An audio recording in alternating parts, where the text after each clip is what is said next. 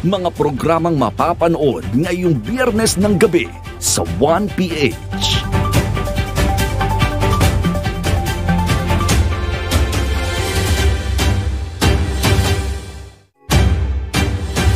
Mga programang mapapanood ngayong biyernes ng gabi sa 1PH.